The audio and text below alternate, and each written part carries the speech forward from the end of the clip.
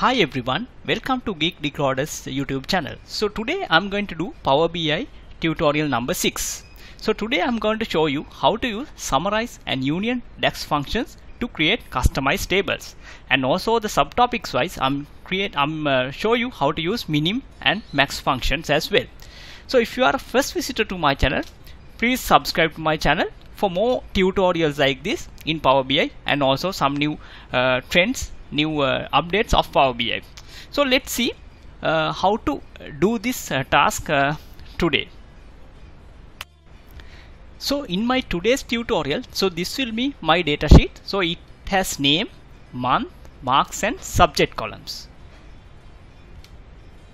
So in today's tutorial, what I want is, I want to get the each name, subject and the maximum or the minimum maximum marks and the minimum marks. So I want to extract these records and add it to a separate table. So this will be my task. So for that I want to filter the minimum and maximum marks per student per subject. So that will be my task. So my output uh, will show like this. So it has you know name marks subject. So this marks should be minimum and maximum. So that will be my task today right so in design wise so how to do this? So we have the data source then we create a temp table with all the minimum records name subject and the minimum marks. So that should be the three columns that I want. And then again create a temp table with all the maximum records right? So that maximum table also, also contain name subject and the maximum marks. Then I join this min and max tables and then I get the output table. So that will be my uh, design today right? So next we'll see how to do this uh, in Power BI how to develop this in Power BI using summarize and union DAX functions so we'll check.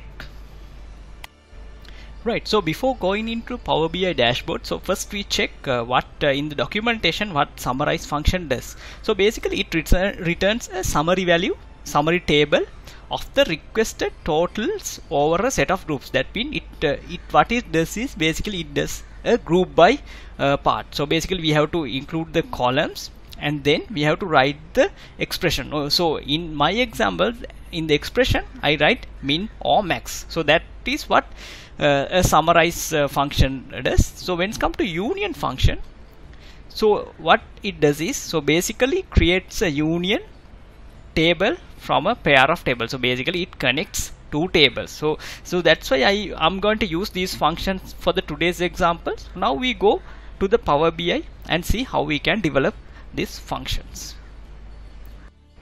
Right. So now I'm in the Power BI dashboard. First I include the data source here for the clear visibility. So I add uh, marks months sorry months and name and then subject and marks columns here. So marks should be uh, like this that we want. So then we'll uh, edit this a bit uh, to have a better visualization. So here I format and increase the size of the values. So then it shows say 12 right so this will be my data table source table. Right so now I'm going to write the summary function. Or, or I'm going to try, try to create a minimum table. For that I go to data here and I create new table. Right so I'm going to write it. I say min table and I say summarize. So then I have to uh, give the table. So that means sheet 1 then I have to give the column. So I want the name and also the subject. So that's a combination that I want. And then I have to use the uh, minimum expression. For that I first define the name of the column that I say min marks. And then I have to give the expression. Expression wise I say min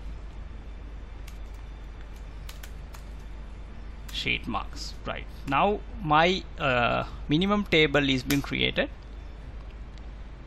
Right so as you can see now in the minimum table only the minimum marks for name and subject combination will be displayed. So that what is does is the group by function as I mentioned.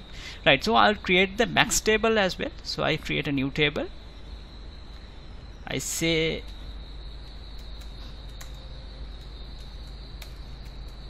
max table. Say summary summarize. Then sheet 1 will be the table then original data source. Then I say here name subject and then I have to say here the name of the column that I want max marks and then the expression would be max. And then I can write sheet 1 marks.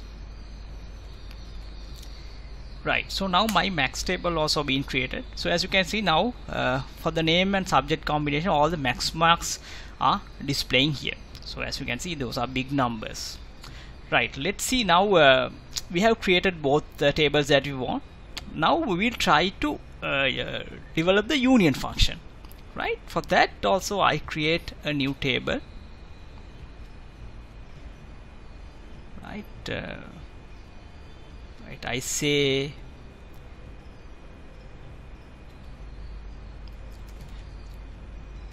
union table. So that I directly use union function right? So then I add the table one the uh, temporary tables temporary mean table. And then I uh, union it with temporary max table.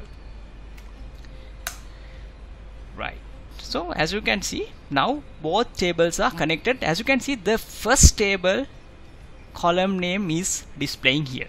So that is that you need to know in here. Right let's see how we can uh, apply this in the dashboard and see how it looks.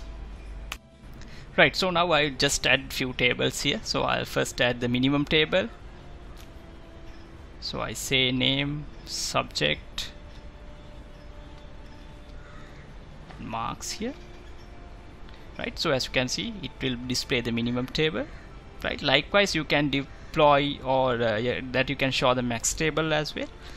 So it's just matter of adding it uh, here. And then you can add the values of it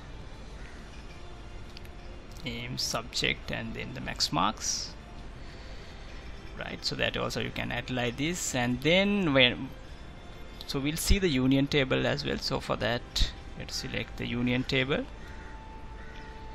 Right I'll minimize this a bit. Right so then uh, I add the table.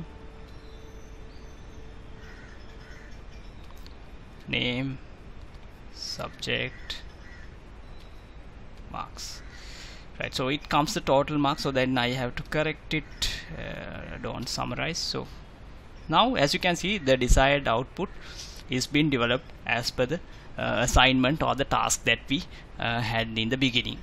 Right so uh, we'll summarize what we have learned now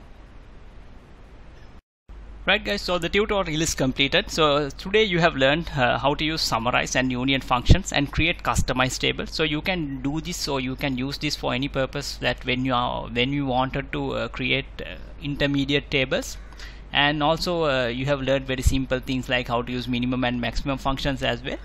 Right for thanks for watching my video. Please uh, subscribe to my channel for more updates uh, uh, like this. So I'll publish more tutorials in future as well. So keep in touch. Thanks for watching